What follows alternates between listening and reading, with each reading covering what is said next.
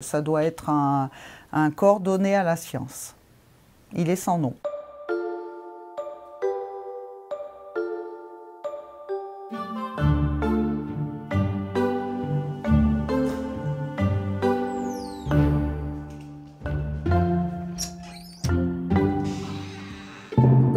Oscar, comme on ne s'en sert plus depuis 2001, l'idée c'était de trouver une destination qui est la suivante, c'est l'incinération.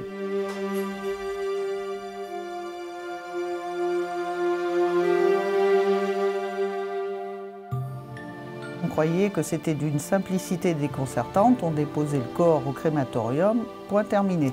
On va suivre la procédure, la prise de rendez-vous au crématorium, la mise des os dans le reliquaire et euh, le transport de ces derniers par euh, les pompes funèbres. Il le mérite, on va dire que c'est un fonctionnaire inconnu qui va euh, prendre sa retraite.